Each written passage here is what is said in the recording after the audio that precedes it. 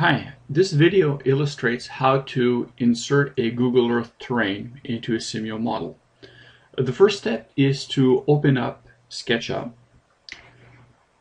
Under the file, select Geolocation, Add Location.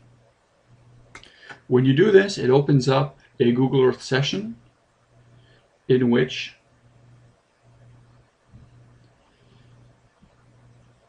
you can select your view, select region, then grab. This inserts the selected region into your SketchUp environment. Now SketchUp imports two things, a 2D view along with a terrain view.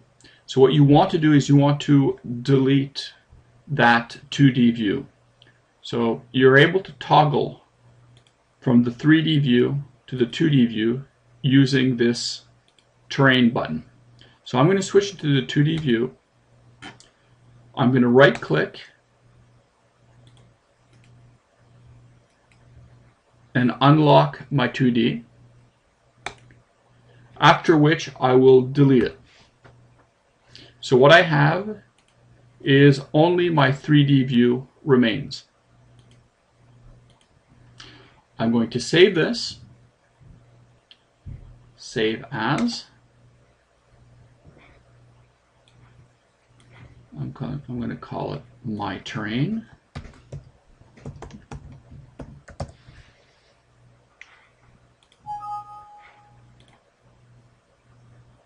Once it's been saved, I can go into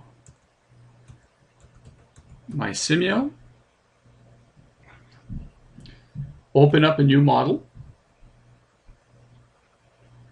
go into Project Home, New Symbol, Import.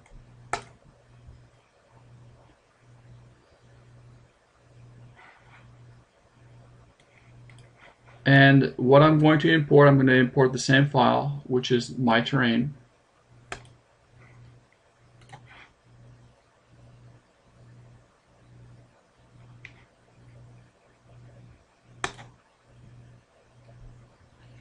Then I'm going to go into the, my drawing view. And I'm going to say place symbol.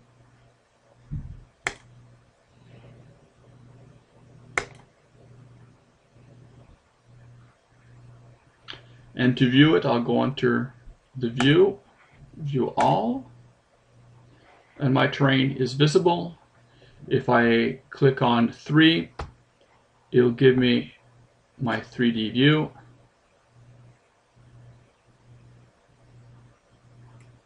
And that's it. Mission accomplished.